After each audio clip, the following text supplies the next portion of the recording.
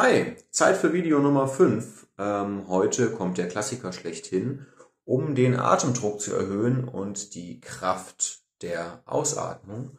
Und dafür kommt der Griff natürlich ins Altpapier. Wir nehmen irgendeinen Zettel, den wir nicht brauchen, und fixieren ihn, wie's, wie du das wahrscheinlich schon kennst, mit dem Atem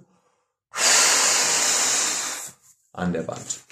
Wenn das bei dir nicht klappen sollte an deiner Wand, ähm, weil sie vielleicht zu glatt ist, dann kannst du den Zettel einmal komplett zerknüllen und danach wieder auseinanderfalten. Und dann klebt er auch an jeder Wand und sogar an der Glasscheibe. Dann ist das überhaupt kein Problem. Also würde ich sagen, gehen wir schön nah an die Wand ran und halten den Zettel einfach so lang wie möglich an der Wand. Aufgabe Nummer eins und los. Und gleich noch einmal.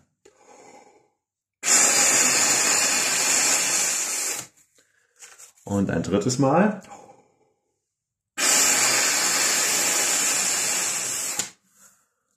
Gut. Damit können wir nämlich super trainieren, dass wir richtig schön aktiv ausatmen.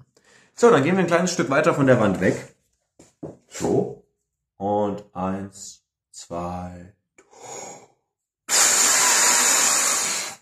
Und noch einmal. Und ein drittes Mal.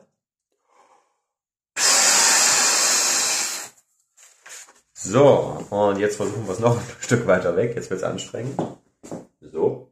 Eins, zwei. Und ein zweites Mal. Und ein drittes Mal. Ah, jetzt ist mir runtergefallen.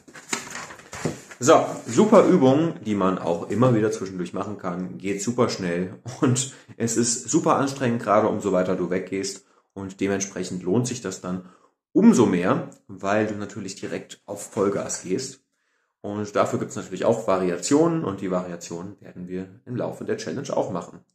Dann mach am besten diese Übung heute Abend auch noch und morgen früh auch noch und morgen Abend auch noch, bevor wir uns dann übermorgen, nämlich am Freitag, zur nächsten Übung sehen. Bis dahin, viel Spaß beim Pusten und tschüss.